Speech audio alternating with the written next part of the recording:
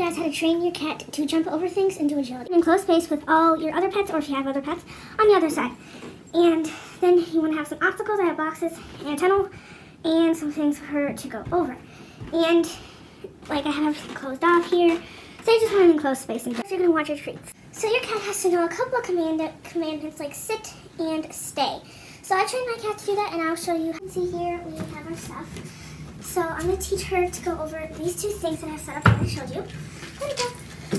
So she comes over them and then you tell her to sit. And then you give the treat right away so she knows that she did good. And see, she goes over the jump and you give her the treat right away to know that she did good. She comes back over it.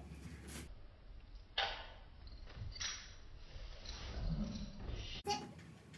The cat does to be trained, by the way. I just do. I just say jump.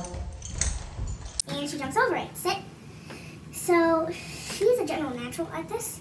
So to train difficult cats that that have not been trained, um, you just want to make sure that you have food that they like or encouragement that they like.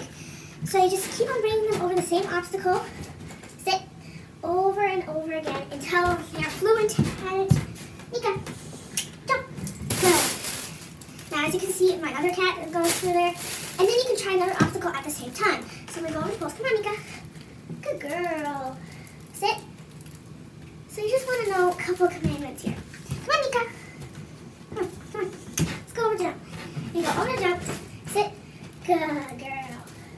Now, if they start scratching at you, or start refusing to jump, or they go around the jump, just tell them to do it again.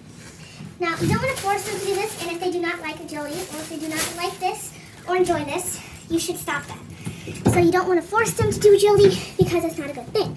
So I'm going to tell you how to make your cat sit. So, she knows how to sit, obviously, but um, make her get up. And what you want to do is you want to put your cat's head back until he or she sits.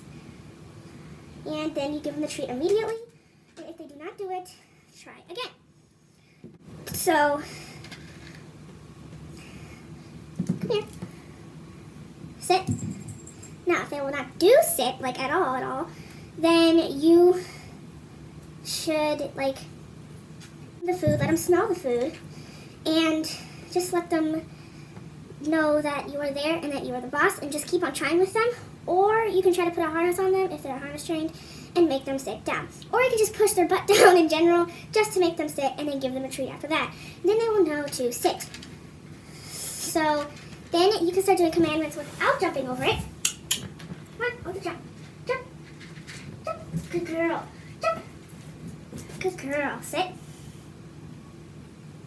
So, of course, you want to do one jump at a time. You don't want to just... And, of course, give them breaks. Yeah, so they don't get overworked and so they do not enjoy it anymore. That's what you want to do. And I have three cats. And here's our kitten. Here's our other cat. And Greta, here, come to the... She um is kind of a scared cat.